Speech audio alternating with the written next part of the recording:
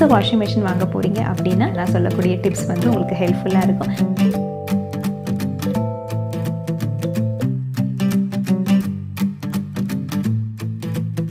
நீங்கள் front load wash machine already வச்சுருந்தீங்க அப்படின்னா அதை எப்படி டேக் கேர் பண்ணிக்கிறது எப்படி நல்லா நல்லா கவனிச்சுக்கிறதுன்னு சொல்லிட்டு அதை வச்சு நான் வந்து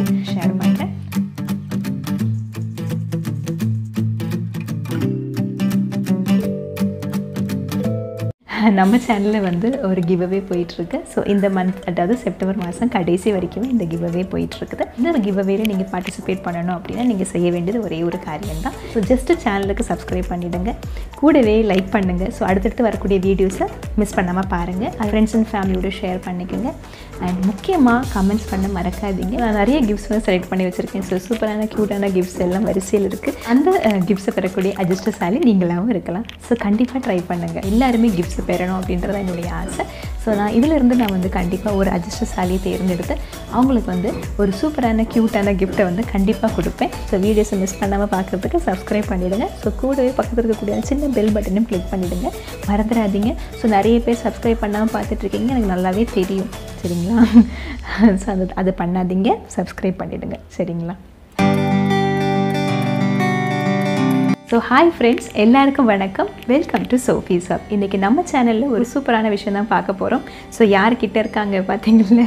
ஸோ என்னுடைய டார்லிங் தான் கிட்ட இருக்கிறது. ஏன்னா ரொம்பவே ஸ்வீட்டாக ரொம்பவே ஹேண்டியாக ரொம்ப ஃப்ரெண்ட்லியாக இருக்கக்கூடிய ஒரு வாஷிங் மிஷின் இது. ஸோ இதை நான் ஏன் பர்ச்சேஸ் பண்ணேன்? இதை பர்ச்சேஸ் பண்ணுறதுக்கு முன்னாடி நான் பார்த்த சில ரிவ்யூஸும் என்னுடைய பழைய வாஷிங் மிஷினில் நான் ஃபேஸ் பண்ண டிஃபிகல்ட்டிஸ் அதுக்கப்புறம் அந்த டிஃபிகல்ட்டிஸை ஓவர் கம் பண்ணுறதுக்கு நான் இந்த வாஷிங் மிஷினை வாங்கினேன். எனக்கு இந்த வாஷிங் மிஷினை நான் செலக்ட் பண்ணுறதுக்கு வந்து முக்கியமான சில ஃபீச்சர்ஸ் இருந்திருக்கும் இல்லைங்களா? ஸோ அதை பற்றின விஷயங்கள் தான் நான் இன்றைக்கி ஷேர் பண்ண போகிறேன் இது கண்டிப்பாக ப்ரொமோஷனல் வீடியோ கிடையாது. ஸோ நான் என்கிட்ட வச்சுருந்த ஒரு பொருள் வந்து எனக்கு எவ்வளோ யூஸ்ஃபுல்லாக இருக்குது அப்படின்றத தெரிவிக்கிறது தான் இந்த வீடியோ ஸோ இதை தெரிவித்து என்ன பயன்னு கேட்கலாம். ஒருவேளை நீங்கள் வந்து புது வாஷிங் மிஷின் வாங்க போகிறீங்க அப்படின்னு சொல்லிட்டு இருந்தீங்க அப்படின்னா இந்த வீடியோ உங்களுக்கு கண்டிப்பாக ஹெல்ப்ஃபுல்லாக இருக்கும். நல்ல ஒரு ப்ராடக்ட் வந்து நம்ம வாங்குறது எவ்வளோக்கு எவ்வளோ முக்கியமோ அதே போல் அது நமக்கு வந்து ரொம்ப நாள் ஹேண்டியாக நம்ம லைஃப் லாங் வரணும் அப்படின்னா நம்ம அதை வந்து பாதுகாக்கிறது அதுவும் ரொம்ப ரொம்ப முக்கியம். அதை எப்படி நம்ம செய்யலாம்? ஸோ எதை நம்ம எப்படி நம்ம டேக் கேர் பண்ணிக்கலாம் அப்படின்னு சொல்லிட்டு நான் இன்றைக்கி உங்கள் கூட ஷேர் பண்ணிக்க போகிறேன் ஸோ கண்டிப்பாக வீடியோவை ஸ்கிப் பண்ணாமல் பாருங்கள் அதே போல் முழுமையாக பாருங்கள்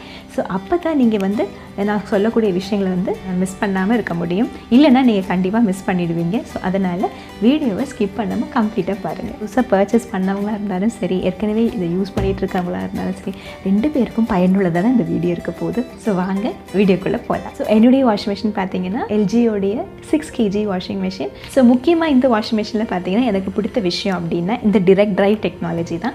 ஸோ டிரெக்ட் ட்ரைவ் டெக்னாலஜி அப்படின்னா என்ன? சொல்ல பெரிய பெரிய வேர்ட்ஸ்லாம் சொல்லி நான் உங்களை குழப்ப விரும்பலை. டிரெக்ட் ட்ரைவ்னா ஒன்றுமே இல்லைங்க. யூஸ்வலி வாஷிங் மிஷின்ஸில் பார்த்தீங்கன்னா பெல்ட் ட்ரைவ் டெக்னாலஜி அதாவது பின்னாடி இருக்கக்கூடிய மோட்டரும் ஸோ இருக்கக்கூடிய ட்ரம்மும் தனித்தனியாக இருக்கும். இந்த ரெண்டு தனித்தனியாக இருக்கக்கூடிய விஷயங்களையும் வந்து கனெக்ட் பண்ணுறது வந்து ஒரு பெல்ட்டாக இருக்கும். ஸோ அந்த பெல்ட் மூலயமா தான் இது வந்து ஃபுல் ப்ராசஸும் இயங்கும். சரிங்களா? பட் ஆனால் இது டிரெக்ட் ட்ரைவ் டெக்னாலஜி அப்படின்றது பார்த்திங்கன்னா அந்த ட்ரம் வந்து டைரெக்டாக மோட்டரோட அட்டாச் ஆகிருக்கு ஸோ அப்படி டைரெக்டாக அட்டாச் ஆகிருக்கும் போது அதனுடைய வாஷிங் கேப்பபிலிட்டியும் சரி அதனுடைய டியூரபிலிட்டியும் சரி அது பவர்ஃபுல் அது ரொம்ப பவர்ஃபுல்லாக ரொம்ப பலமாக நல்ல ரொம்ப நல்லா வாஷ் பண்ணும். அதே போல் முக்கியமாக பார்த்தீங்கன்னா ரொம்பவே ஸ்டேபிளாக ஒரு இடத்துல இருந்தாப்புல இருக்கும். முன்னாடி நான் வச்சிருந்த வாஷிங் மிஷினில் பார்த்தீங்கன்னா இங்கே வச்சிருந்தா அங்கே ஓடி வந்துடும் சரிங்களா? ஸோ அப்படியே மூவாய் மூவாய் மூவாய் மூவாய் ஃப்ரண்ட்டில் வரும். ஸோ அந்த அளவுக்கு மூமெண்ட் இருக்கும். பட் ஆனால் இந்த வாஷிங் மிஷின் வந்து ஸ்டேபிளாக ஒரே இடத்துல இருக்குது அடுத்த விஷயம் பார்த்திங்கன்னா six motion technology so six motion technology அப்படின்னு பார்த்தீங்கன்னா ஒரே ஒரு மோஷன்லேயே ஒரே ஒரு பக்கமாகவே சுற்றாமல் பல ஆங்கிளில் பல வடிவங்களில் ட்ரம் வந்து சுற்றி நம்ம துணியை வாஷ் பண்ணி கொடுக்குது. ஸோ அதுதான் சிக்ஸ் மோஷன் டெக்னாலஜி ஸோ அங்கேயுமே பார்த்தீங்கன்னா உங்களுக்கு நல்ல ஒரு வாஷ் கிடைக்கும். நம்ம துவைக்கும் போது இப்படி அடித்து அடித்து துவைப்போம். நம்ம கிட்டத்தட்ட அந்த மாதிரி இருக்கும் அது துவைக்கும் போது ஸோ அதனால் எனக்கு ரொம்பவே பிடிச்சிருந்தது. ஸோ அது மாதிரி பார்த்திங்கன்னா இது இருக்கக்கூடிய இன்வெர்டர் டெக்னாலஜி ஸோ அதுவுமே எனக்கு பிடிக்கும். ஸோ என்னுடைய பழைய வாஷிங் மிஷினில் அது கிடையாது. ஸோ இதில் இன்வெர்டர் டெக்னாலஜி இருந்துச்சு. ஸோ என்ன இன்வெர்டர் டெக்னாலஜின்னு பார்த்தீங்கன்னா முக்கியமாக வந்து நம்ம எலக்ட்ரிசிட்டி பில் வந்து அப்படியே எகுருது இல்லைங்களா? ஸோ அந்த மாதிரிலாம் எகுறாது ஸோ என்ன என்ன முக்கியமான ஃபீச்சர்னு பார்த்தீங்கன்னா நம்ம போடக்கூடிய லோடு நம்ம போடக்கூடிய துணி இருக்குது இல்லைங்களா? அந்த துணியுடைய லோடுக்கு ஏற்றாப்புல மோட்டர் வந்து ஃபங்க்ஷன் ஆக ஆரம்பிக்கும். ஸோ அந்த வெயிட்டுக்கு ஏற்றாப்பில் ஸோ அந்த மோட்டர் ஃபங்க்ஷன் ஆகிறதுக்கு ஒரு குறிப்பிட்ட அளவு எலக்ட்ரிசிட்டி தேவை இல்லைங்களா? ஸோ அந்த எலக்ட்ரிசிட்டி தேவையான அளவு மட்டும் மோட்ரு எடுத்துக்கும். அதே போல் அங்கே வந்து எலக்ட்ரிசிட்டி வேஸ்டேஜ் வந்து எதுவுமே இருக்காது. ஸோ அப்படி எலக்ட்ரிசிட்டி வேஸ்டேஜ் இல்லாத ஒரு சுச்சுவேஷனில் நமக்கு எலக்ட்ரிசிட்டி பில் வந்து எகிறவே எகிறாது. ஓகேங்களா அதே போல் எனக்கு முன்னாடி நான் வச்சிருந்த வாஷிங் மிஷின் வந்து ஹாட் வாட்டர் ஆப்ஷனே கிடையாது. ஸோ இதில் வந்து இந்த ஹாட் வாட்டர் ஆப்ஷன் வந்து எனக்கு ரொம்பவே தேவைப்பட்டது. முக்கியமாக வந்து வீட்டில் குழந்தைகள் இருக்கிறாங்க இல்லைங்களா? ஸோ அவங்க துணி வாஷ் பண்ணும் போதும் சரி. ஸோ நம்மளுடைய அண்டர் கார்மெண்ட்ஸ் வாஷ் பண்ணுறதா இருந்தாலும் சரி. அதே போல் பெட்ஷீட்ஸ் ரொம்பவே நல்ல ஸ்டெயின் அதிகமாக இருக்கக்கூடிய துணி வாஷ் பண்ணும் போதும் சரி இந்த ஹாட் வாட்டர் ஆப்ஷன் வந்து ரொம்பவே ஹெல்ப்ஃபுல்லாக இருக்கும். அதே மாதிரி எனக்கு இன்னும் பல விஷயங்கள் இதில் பிடிச்சிருந்தது. முக்கியமாக வந்து இதில் இருக்கக்கூடிய ஆப்ஷன்ஸ் அண்டு முக்கியமாக நான் இந்த வாஷிங் மிஷின் வாங்க வாங்கின போன மெயின் காரணமே இந்த டிரெக்ட் ட்ரைவ் அண்ட் இந்த ஆப்ஷன்ஸ் தான். ஸோ இந்த ஆப்ஷன்ஸ்லாம் வந்து இதில் வந்து கால்வாசி ஆப்ஷன்ஸ் தான் என்னுடைய பழைய வாஷிங் மிஷினில் இருந்துச்சு.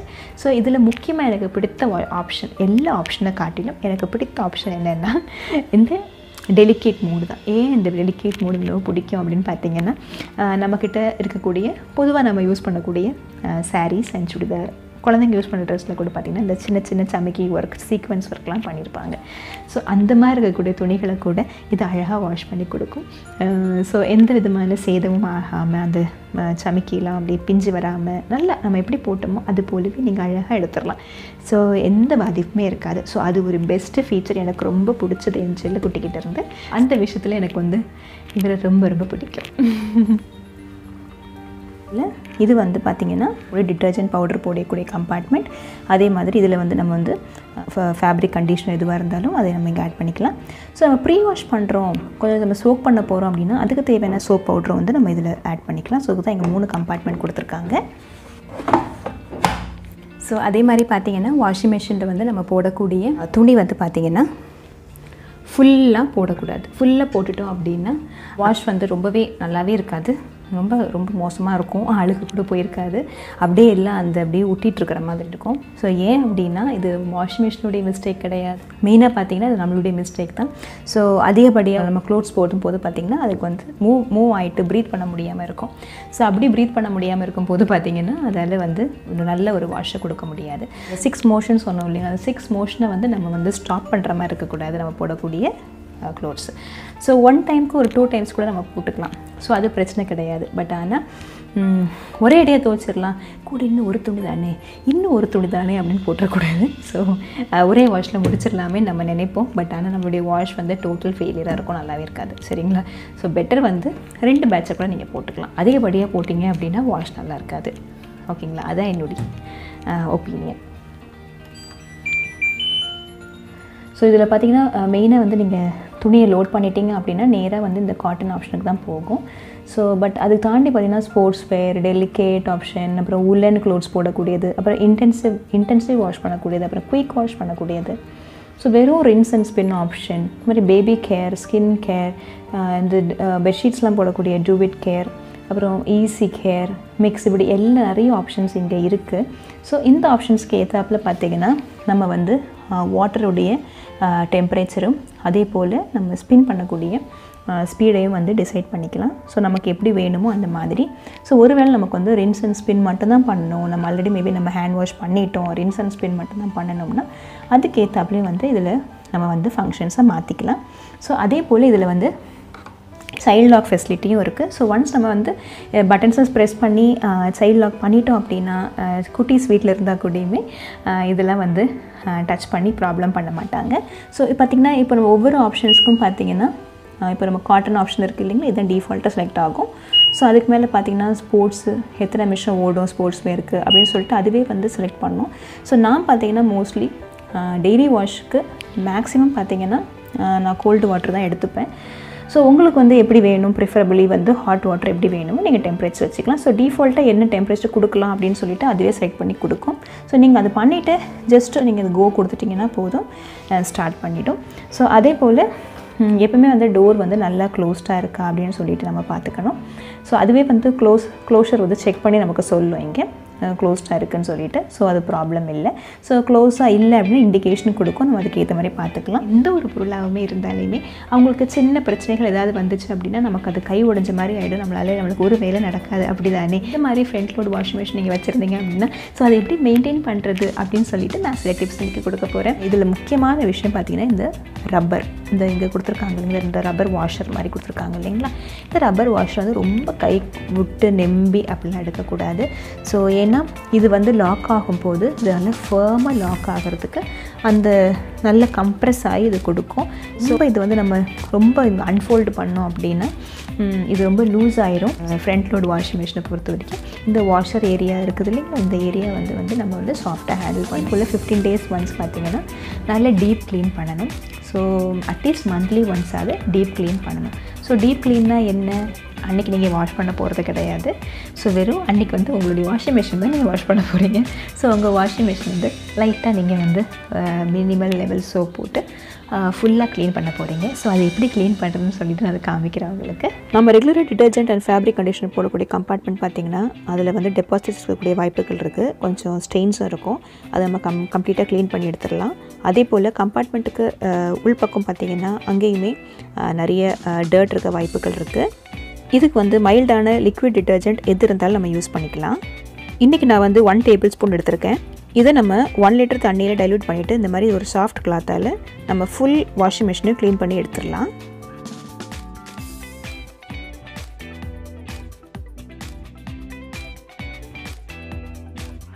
இந்த மாதிரி நம்ம க்ளீன் பண்ணும்போது நம்ம முக்கியமாக கவனிக்க வேண்டிய இடங்கள் பார்த்திங்கன்னா இந்த மாதிரி விளிம்புகள் தான். இங்கே வந்து சோப் பவுடர் படிஞ்சு இல்லை தண்ணி பட்டோ துருப்பிடிக்கக்கூடிய வாய்ப்புகள் உண்டு. ஸோ கவனமாக க்ளீன் பண்ணிடலாம். அடுத்து பார்த்தீங்கன்னா ட்ரம்முக்கு முன்னாடி இந்த வாஷர் ஏரியா தான். இதுலேயும் அழுக்கப்படியக்கூடிய வாய்ப்புகள் இருக்குது இதனால் நம்ம ஒரு நல்ல சாஃப்ட் ப்ரஷ் யூஸ் பண்ணி நல்லா ப்ரஷ் பண்ணி விட்டுடலாம் ரொம்ப ஹார்டாக இதை ஹேண்டில் பண்ணக்கூடாது. இப்போது ஃபுல் பாடியையுமே நம்ம நல்லா எல்லா சைட்ஸுமே தொடச்சி விட்டுடலாம் வாஷிங் மிஷினுக்கு கீழே முக்கியமான ஒரு அவுட்லெட் இது ஏதாவது வேஸ்ட் வாட்டர் வந்து டெபாசிட் ஆயிருந்ததுன்னா இந்த டியூப் வழியை நம்ம அதை வெளியில் எடுத்துடலாம். ஸோ இப்போதைக்கு வேஸ்ட் வாட்டர் எதுவும் இல்லை. அதே மாதிரி பேண்ட் பேக்கெட்லேருந்து ஏதாவது காயின்ஸ் விழுந்திருந்தால் இந்த வழியாக அது வந்துடும் ஏதாவது அழுக்கு இருந்தால் கூட வந்துடும் இந்த நாஸ்லையும் நம்ம வந்து க்ளீன் பண்ணணும். அடுத்து நம்ம டேப்பை க்ளோஸ் பண்ணிவிட்டு இங்கே வந்து நம்மளுடைய இன்லெட் பைப்பை ஓப்பன் பண்ணுவோம். அங்கே ஒரு சின்ன ஃபில்டர் இருக்கும். இந்த ஃபில்டர்லேயும் பார்த்தீங்கன்னா அழுக்கு கசடெல்லாம் ஒட்டிகிட்ருக்கோம் ஸோ இதையும் நம்ம வந்து நல்லா சோப் போட்டு இந்த ரெண்டு நாசிலையுமே நம்ம நல்லா கழுவணும். அதே மாதிரி இந்த ஏரியாவையும் நம்ம நல்லா ப்ரஷ் பண்ணி விட்டுறலாம். அங்கே நிறைய அழுக்கு இருக்க வாய்ப்பு இருக்குது ஸோ தொடச்சி எடுத்துக்கலாம். நல்லா தொடச்ச பிறகு நல்லா ட்ரையான ஒரு கிளாத்தால் நல்லா தொடச்சி விட்டுறலாம். ஈரம் இல்லாமல் பார்த்துக்கலாம் இது ட்ரை ஆகிற சமயத்தில் நம்ம வந்து வெறும் பிளெயின் வாட்டரில் சுத்தமான தண்ணியில் நம்ம வாஷிங் மிஷினை வந்து கம்ப்ளீட்டாக தொடச்சி விட்டுடலாம் ஈரமான துணியால் தொடச்சி விட்ட பிறகு இந்த மாதிரி ஒரு ட்ரையான துணியால் நல்லா ஃபுல்லாக ஈரம் போக நல்லா சூப்பராக தொடச்சிடலாம். நல்லா ட்ரையாக தொடச்ச பிறகு இந்த நாசில் எல்லாத்தையும் நம்ம திரும்பி ஃபிக்ஸ் பண்ணி விட்டுடலாம்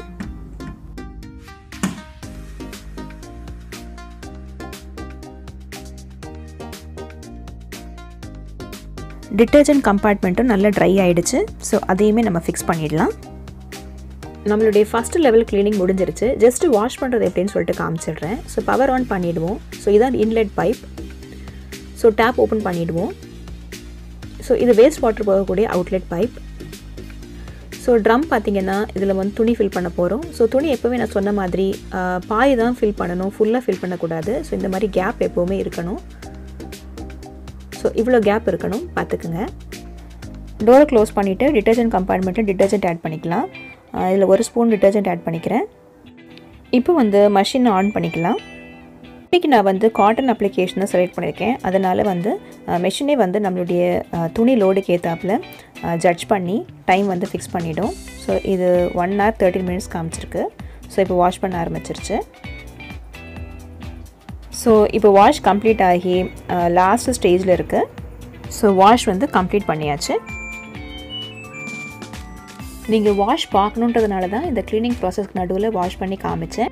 இப்போ நம்ம ட்ரம்மை எப்படி க்ளீன் பண்ணுறதுன்னு சொல்லிட்டு பார்த்துடலாம் வந்து ஃப்ரண்ட் ஏரியா ஃபுல்லாக நம்ம க்ளீன் பண்ணி முடிச்சிட்டோமா? இப்போ உள்ளே இருக்கக்கூடிய ட்ரம்மை எப்படி க்ளீன் பண்ணுறது ஸோ அதுக்கு ஒரு ஐட்டம் இருக்குது ஸோ அந்த பொருளை நம்ம இதில் போட்டுட்டோம் அப்படின்னா அது வந்து அழகாக வாஷ் பண்ணி கொடுத்துரும். ஸோ அது வாஷ் பண்ண பிறகு அன்றைக்கி தேதிக்கு நீங்கள் வா மேற்கொண்டு துணி போட்டு வாஷ் பண்ண வேண்டாம். அதுக்கப்புறம் மறுநாள் அப்புறமா நீங்கள் வாஷ் பண்ணிக்கிட்டால் போதும். ஸோ அந்த ப்ராடக்ட் என்ன அப்படின்னு சொல்லிட்டு நான் உங்கள்கிட்ட காமிக்கிறேன். ஸோ அதுதான் வாங்கி பண்ணணும்னு இல்லை. பட் நான் இந்த வாஷிங் மிஷின் வாங்கினது வந்து ரெகுலராக அதான் யூஸ் பண்ணுறேன் ஸோ அதுதான் உங்களுக்கு நான் ஷேர் பண்ணுறேன் ஸோ அது வந்து நீங்கள் பார்த்தீங்கன்னா மந்த்லி ஒன்ஸ் போட்டிங்க போட்டு யூஸ் பண்ணீங்க அப்படின்னா கண்டிப்பாக ட்ரம்முடைய லைஃப் நல்லாயிருக்கும் முக்கியமாக நம்ம வாட்டரில் வந்து லைட்டாக சால்ட் கண்டென்ட் இருந்தது அப்படின்னா கூடயுமே ட்ரம் வந்து எந்த சேதமும் அடையாமல் இருக்கும். இதுதான் ஸ்கேல் கன் இது வேர்ல்பூல் கம்பெனியுடையது நம்ம ட்ரம் க்ளீன் பண்ண நம்ம இதை தான் யூஸ் பண்ண போகிறோம் ஸோ ட்ரம்மில் வந்து உப்பு படிவங்கள் ஏற்படாமல் இது பாதுகாக்கும். இதை யூஸ் பண்ணும்போது ட்ரம்முடைய லைஃப் வந்து நல்லாயிருக்கும் ஸோ நம்ம டிட்டர்ஜென்ட் போடுற மாதிரியே அதே கம்பார்ட்மெண்ட்டில் இதை நம்ம போட்டுக்கிறோம். இது கூட எதுவும் வேறு எதுவுமே நம்ம சேர்க்க தேவையில்லை. ஜஸ்ட்டு இதை வந்து நம்ம டிட்டர்ஜென்ட் கம்பார்ட்மெண்ட்டில் போட்டுட்டு நம்ம வந்து ஒரு ஒன் ஹவர் செலக்ட் பண்ணிட போகிறோம் ஸோ ஒன் ஹவர் செலக்ட் பண்ணி நல்லா வாஷ் பண்ண விட போகிறோம் ஸோ ஒன் ஹவர் செலக்ட் பண்ணியிருக்கிறோம் ஸோ நல்லா கம்ப்ளீட் வாஷ் பண்ணட்டும். ஸோ அப்போ உங்களுக்கு எந்த ஒரு டர்ட் இருந்தாலும் வந்துடும் வாஷிங் மிஷினில் துணியே இல்லாமல் இந்த மாதிரி வெறும் தண்ணியில் அது வாஷ் பண்ணுறது ரொம்பவே அழகாக இருக்கும் பார்க்குறதுக்கு. எனக்கு ரொம்பவே பிடிக்கும் பார்க்குறதுக்கு. அதுவும் இல்லாமல் நாய்ஸ் லெவல் வந்து நீங்கள் இதை கேட்கணும்னு சொல்லிட்டு தான் நான் இங்கே ஆட் பண்ணுறேன் ஸோ நாய்ஸ் லெவலில் பாருங்கள் ரொம்பவே கம்மியாக தான் இருக்கும். ஸோ கம்ப்ளீட்டாக வாஷ் பண்ணி முடித்த பிறகு நம்ம வந்து உள்ளுக்குள்ளே இந்த இந்த ஏரியா இருக்குது இல்லைங்களா இங்கே வந்து நம்ம வந்து நல்லா தொடச்சி விட்டுறலாம். ஸோ அங்கே கொஞ்சம் தண்ணி டெபாசிட்டாக இருக்கலாம். ஸோ நல்லா ட்ரையாக தொடச்சி விட்டுறலாம். க்ளீன் பண்ணி முடித்த பிறகு டோரை லாக் பண்ணி வைக்காதீங்க. நல்லா ஓப்பன் பண்ணி வென்டிலேட்டடாக வைங்க. அதே மாதிரி வாஷிங் மிஷினுக்கு மேலே எந்த ஹெவியான பொருளையும் வைக்காதீங்க. ஸோ ஒரு நல்ல வாஷிங் மிஷின் வந்து அதனுடைய ஃபீச்சர்ஸ் பார்த்து நம்ம எப்படி ஒரு நல்ல கம்பெனி வந்து செலக்ட் பண்ணி அங்கேருந்து நம்ம வாங்குகிறோமோ அதே போல் அது ரொம்பவே முக்கியமான விஷயம். அது வாங்கின பிறகு அதை நம்ம ஹேண்டில் பண்ணுற விஷயங்கள். நம்ம வந்து அதை வந்து ரொம்ப நல்லா ஒரு வீட்டில் ஒரு நபர் போல் நடத்தணும் அப்படின்னா கண்டிப்பாக அது வந்து நல்ல சூப்பராக லைஃப் லாங் ரொம்ப நாளைக்கு இருக்கும். ஸோ இந்த வீடியோ உங்களுக்கு பிடிச்சிருந்தது நான் ஷேர் பண்ணக்கூடிய இந்த டிப்ஸ் உங்களுக்கு பிடிச்சிருந்தா கண்டிப்பாக லைக் பண்ணிவிடுங்க மறந்துடாதீங்கப்பா. ஸோ இந்த மாதிரி லவ்லியான ஃப்ரெண்ட் வந்து உங்கள் வீட்டில் இருக்காங்க அப்படின்னா கண்டிப்பாக என் கூட ஷேர் பண்ணுங்கள் ஸோ கமெண்ட்ஸை தெரிவிங்க மறந்துடாதீங்க. இந்த வாஷிங் மிஷினை எப்போ வாங்கினேன் அப்படின்னு சொல்லிட்டு நான் சொல்ல மாட்டேன். ஸோ அதை நீங்கள் தான் கண்டுபிடிக்க போகிறீங்க ஸோ கண்டுபிடிச்சிட்டு உங்களுடைய கமெண்ட்ஸை வந்து என் கூட ஷேர் பண்ணுங்கள் ஸோ மீண்டும் ஒரு சூப்பரான வீடியோவில் நான் உங்களை சந்திக்கிற வரைக்கும் உங்களிடமிருந்து விடைபெறுவது உங்கள் சோஃபியா. பாய் எப்பொழுதும் சந்தோஷமாக சிரிச்சுக்கிட்டே இருங்க.